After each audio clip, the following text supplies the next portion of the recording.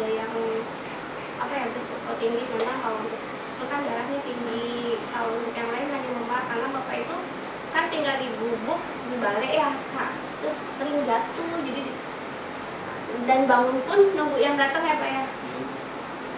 Itu. Jadi dia ada kayak teriak-teriak mungkin kan ada yang lewat. Angkat lagi ke atas ya intinya nunggu ada yang datang nomor-nomor lagi tapi udah dicek CT scan semua alhamdulillah nggak ada yang saya juga ta- takutnya kan Iya. angkat atau apa kan udah lama ya tapi alhamdulillah yang udah berapa lama dia tinggal di Gubuk setengah tahun dari awal Januari sampai saya itu Juli awal. Nggak tahu kalau makannya gimana? Ada yang nganterin? ya ada ya nggak ada nan. Jadi nunggu ada yang datang apa ya? Anak-anaknya Ano kasi parang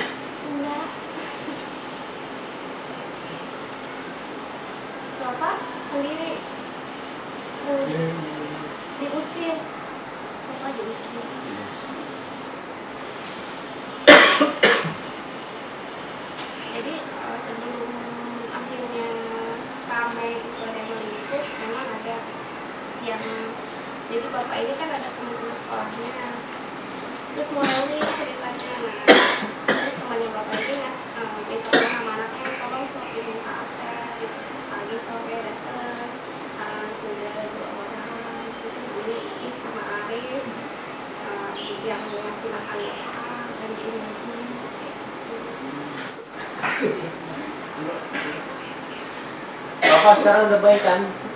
Udah. Bapak tuh. Bapak tuh mengerti ya. Iya, ngerti Ngerti ya. Apa yang kita ngomong itu ngerti Iya, ya. ngerti. Hmm. Udah baik kan sekarang? Udah ya. Alhamdulillah, kemarin kan sempat saya bawa terapi ya satu bulan di terapi di Jakarta.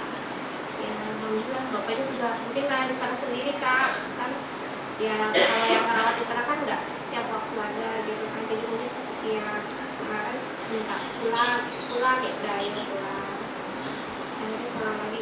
Seterusnya sih sebenarnya pertimbangannya itu banyak gitu kan. Terus saya coba eh, ya pendekatan tadi untuk bisa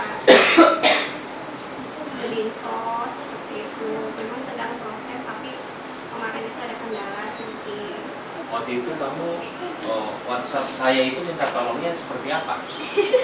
minta tolong gimana?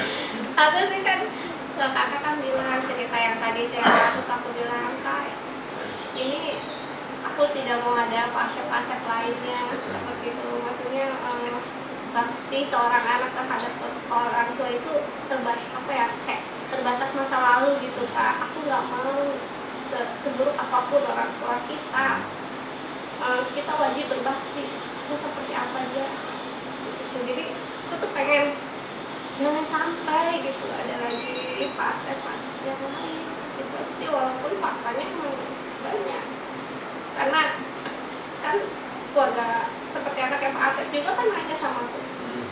kok kamu mau sih gitu Hmm. kamu kan nggak tahu gitu kan seperti apa terus saya bilang "Hmm, kamu juga nggak tahu anak-anak saya juga sama punya pengalaman pahit tapi saya nggak mau. Anak-anak saya eh, memiliki rasa benci rasa dendam terhadap orang tuanya. Itu makanya Pak Asep saya perjuangin banget banget pelajarannya buat diri saya sendiri juga. Kan saya cuma pengen kemarin juga Kak Anwar kan sempat tanya kamu mau minta tolong apa? Saya cuma minta tolong kak gitu kan saya nggak mau ada fase yang lain. Saya cuma pengen share cerita Asep. Kayak gitu sih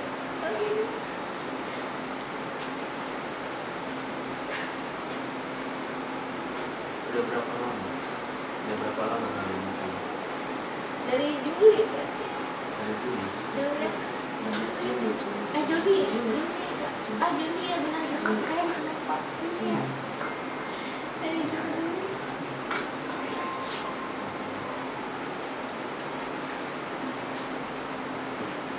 juga nggak tega sebenarnya kan kalau mau diserahkan ke dinsos tapi kan ya jujur keterbatasan saya juga. Kayak kemarin saya sempat tuh pasar juga yang lupa malah mau saya sakit saya nggak bisa nah, apa ke kamar bapak itu saya cuma kasih makan terus ganti pampers. Biasanya kan suka ngobrol apa.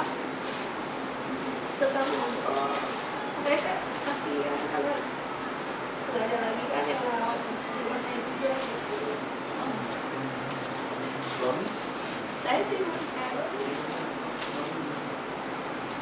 udah punya dunianya bisa waktu saya lagi mengandung anak saya juga Ini dia bisa. makanya saya perjuangin kocok pasar pelajaran buat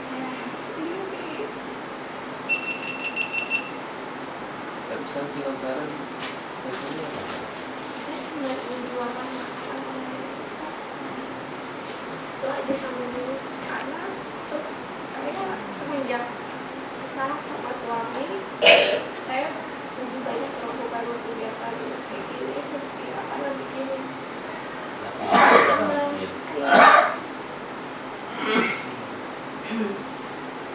Sekolahnya di mana aja? Ah, di dekat rumah yang sama di sekolah Islam ini juga sama saya TK baru masuk Apa yang bisa saya bantu? buat kamu? aku nggak tahu Kalau ini temen ya? iya Iya, teman. Teman dari kapan? kita punya kegiatan juga berbagi setiap cuma berbagi dan sempat kita bantu dalam dana buat aset seikhlasnya teman-teman buat KJB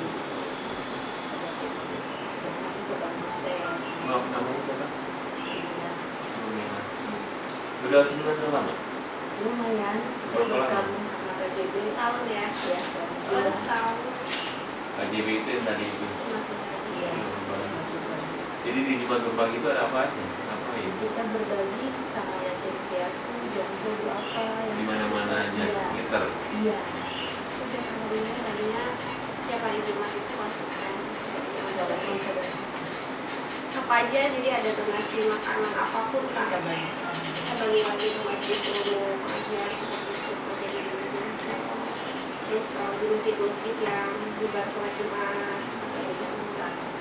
terus untuk doa apa juga. Jadi kita kumpulin barang-barang yang layak pakai. Nah terus kita nanti uh, kita undang duapanya yatimnya untuk pilih baju di tempat kita. Itu dua potong dua jadi boleh datang sampai selalu lingkungan sama ada apa taman baca gitu gitu. Eh, kembali ke Pak Asep. Rencana kamu Pak Asep, rencana kamu Pak Asep apa? ya Ke depannya kalau untuk sekarang sih mungkin masih di rumah. masih di rumah karena kan kalau untuk administrasi sendiri belum bisa kemarin udah sempat yang udah udah, selesai tapi ternyata ada kendala jadi belum jadi selama belum udah di panti tetap saya akan ini juga nggak tetap akan tetap akan saya seminggu sekali datang ke sana gitu kan karena kemarin juga sempat nanya nanti kalau di sana siapa yang gantiin pampers? Katanya gitu. Awalnya WhatsApp ini nggak mau saya gantiin pampers kak. Saya juga bingung. Terus akhirnya setiap ganti pampers saya telepon teman-teman saya. Kamu beramal soleh nggak? Kenapa kalau minta tolong ganti pampers? itu setiap Pak Asep buang air ya saya telepon. Lama-lama saya kan orang punya kesibukan. Kan tidak bisa ah, terus saya sewa perawat pun tidak bisa yang on call ikutin jadwalnya. Akhirnya pak maaf ya saya bilang. Saya ini lillahi ta'ala aja ya Pak. Asep karena nggak ada lagi yang mengganti selain saya saya bilang gitu kan. Ya itu pasti. Jadi ya sekarang malah kalau saya tinggal suka nyari anak gitu Jadi bisa bisa ini. iya anak ya paling suaranya masih yang muda Iya. tapi ini udah Itu ya, kalau api ya. iya Bantu mau bantu gimana? ya caranya sih ya kita bantuan cuma anaknya saya bahwa kita terbatas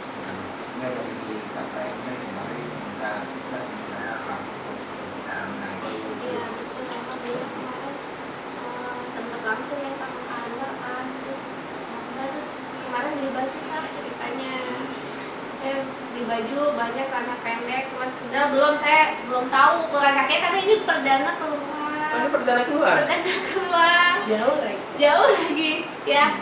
Perdana keluar. Tadi di rumah terus.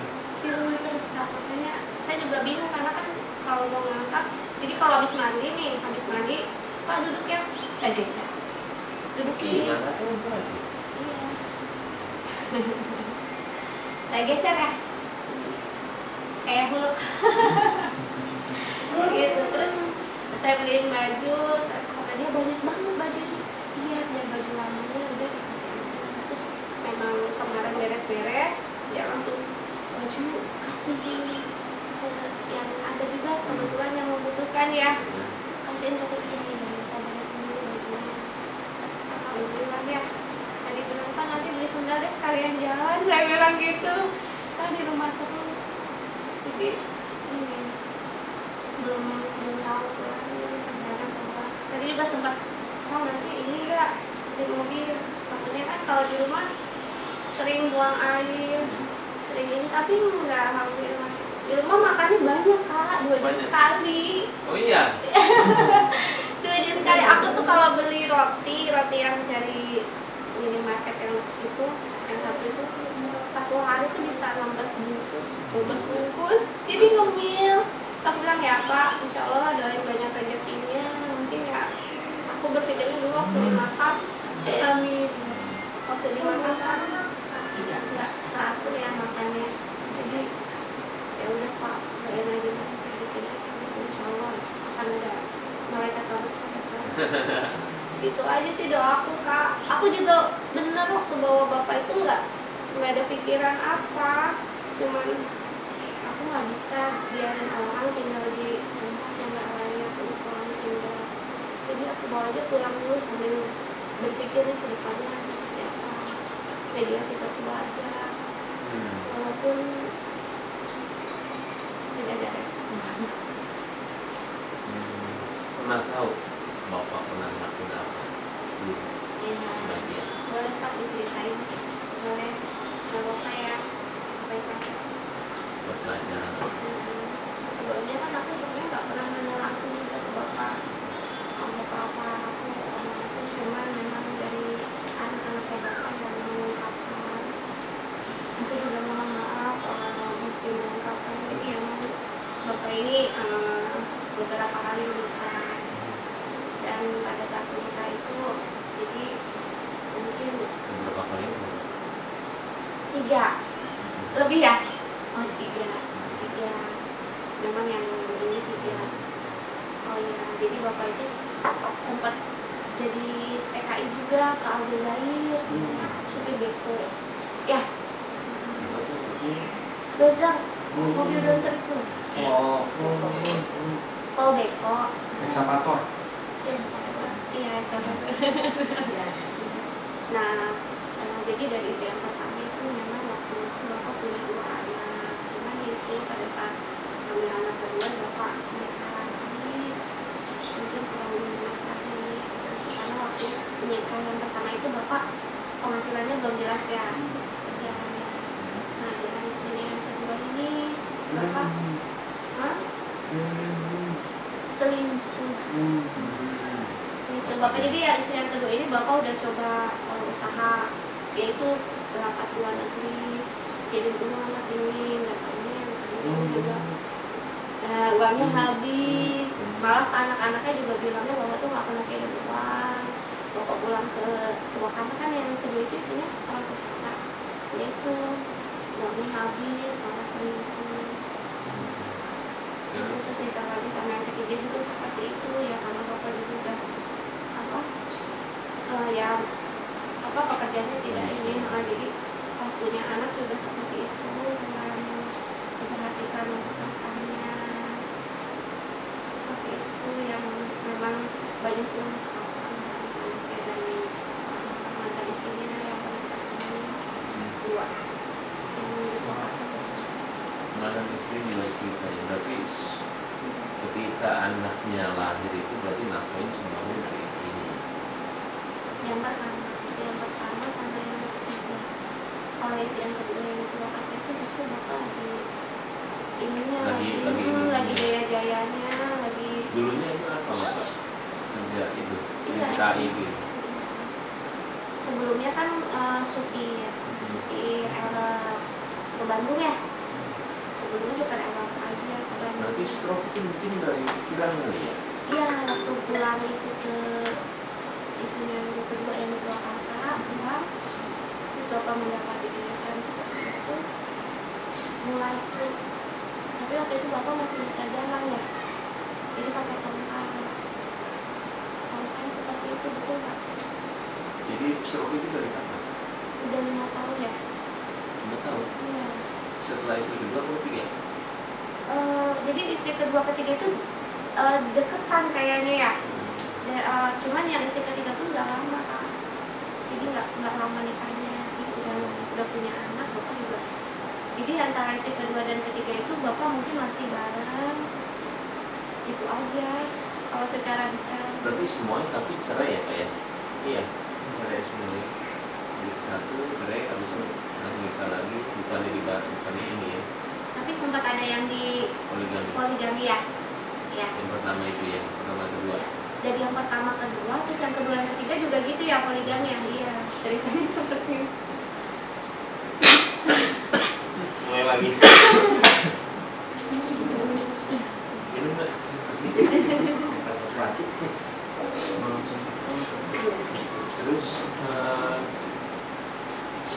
Thank you.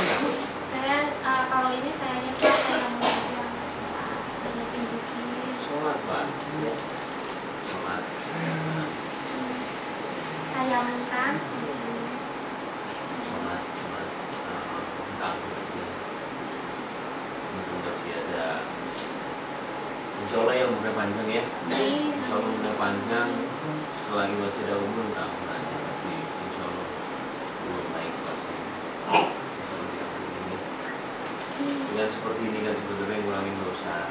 Yang mm, kayak dikikis dosanya satu persatu. Jadi kalau kena musibah pun jangan pernah jangan pernah kayak terpuruk karena itu sebenarnya